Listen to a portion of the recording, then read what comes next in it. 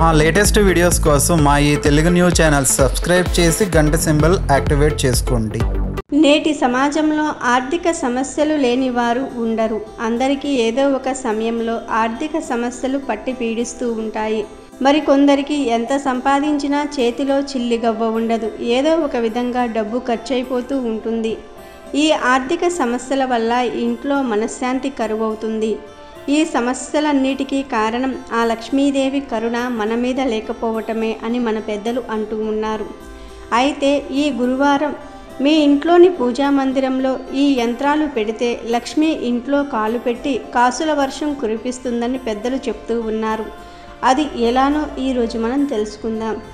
మీ పూజా మందిరంలో కనుక ఈ యంత్రాలు మీరు పెట్టినట్లయితే ఆ లక్ష్మీదేవి యొక్క కరుణ కలిగి అష్టైశ్వర్యాలు సిద్ధిస్తాయి అని మన పెద్దలు చెప్తూ ఉన్నారు.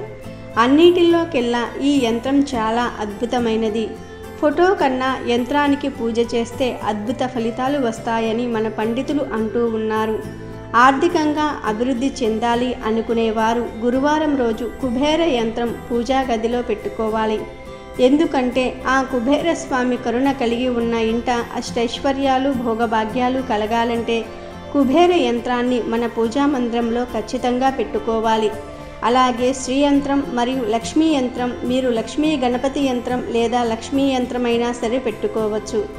ఈ మూడు యంత్రాలు మీ పూజా మందిరంలో స్థాపించి ప్రతిరోజు ఆవు నెయ్యితో దీపారాధన చేసి నైవేద్యం పెట్టి ప్రతిరోజు కుబేర యంత్రాన్ని అలాగే లక్ష్మీ యంత్రాన్ని లేదా లక్ష్మీ అష్టోత్తరాన్ని చదవాలి.